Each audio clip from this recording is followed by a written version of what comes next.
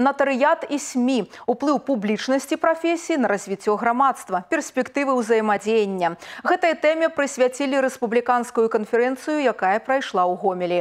Арганізавала сустрэчу натарыусаў і прадстаўнікоў медыяпрасторы беларуская натарыяльная палата. Сюжэт Марыны Джалай. Недалёка той час, калі паняцце сямейных натарыусаў стане агульна прынятым. Гэта спецыялісты, дзякуючы якім можна вырашаць шмат пытанняў на той стадыі, пакуль яны не ператварыліся ў праблемы.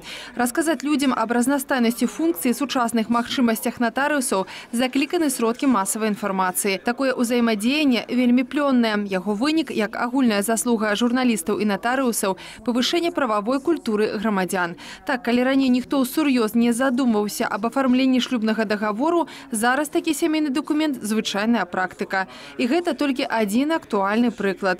Падчас канферэнцыі удзельнікі вызначылі новыя напрамкі для сваёй дзейнасці. Дарэчы, яны могуць тычыцца бадай што кожнага человека. Мы э, обсудили уже какие-то моменты, уже новые планы нарисовали в части там, такие, такого, например, нотариального действия, как обеспечение письменных доказательств, которое способствует формированию доказательственной базы в случае, если в сети интернет, например, нарушаются права, э, размещаются какие-то клеветнические сведения в отношении граждан или представителей бизнеса.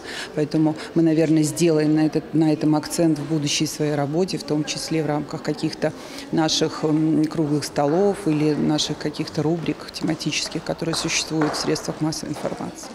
Падчас канферэнцыі прагучала, што дзякуючы сродкам масавай інфармацыі натарыят уваходзіць у кожны дом. Актуальная інфармацыя, якая падаецца праз прызму светапогляду журналіста, павінна быць не толькі аб'ектыўнай і зразумелай. Яна павінна матываваць людзей на тое, каб яны больш увагі надавалі сваёй прававой абароне. Успаміналі аб натарыусах не ў крытычны момант, а карысталіся іх паслугамі рэгулярна. Усё для абароны ўласных правоў і упэўненасці ў заўтрашнім дні. Мы сегодня все заинтересованы, чтобы каждый гражданин Э, умел воспользоваться своим правом, понимал, что он живет сегодня в правовом государстве, понимал, что законотворческая деятельность в этом направлении, она не стоит на месте, она постоянно э, изменяется. Ранее такие конференции имели региональный характер, а зараз вышли на республиканский уровень. По меркаванию организаторов, менавіта нотариальная палата Гомельской в области демонструет іншим регионам приклад эффективного взаимодействия с медиасферой. Очень много способов и методов подать информацию информацию, и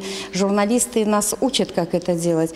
Но учитывая, что общество развивается, что у нас теперь э, технологии новые, новые действия, э, формат прямого эфира, викторин и всего остального тоже дает развитие нотариату. Я совсем недавно была на областном форуме э, с несовершеннолетними правом просвещения, и интерактивные игры в формате знания права дают большие результаты. И если бы такой способ был и в серьезной журналистике, не только с детьми, я думаю, что люди бы интересовались, читали, познавали законы. Бадай, што ні адна структура, у тым ліку і натарыят на шляху да паспяховага развіцця не можа абысціся без інфармацыйнага суправаджэння. Наколькі яно атрымліваецца плённым, цалкам залежыць ад кампетэнтнасці абодвух бакоў. А ў выніку яго эфектыўнасць можна ацаніць толькі тым, наколькі агучаная праз СМі інфармацыя аказалася карыснай для чалавека. Марына Джала і Грамарышчанка, тэлерадыёкампанія Гомель.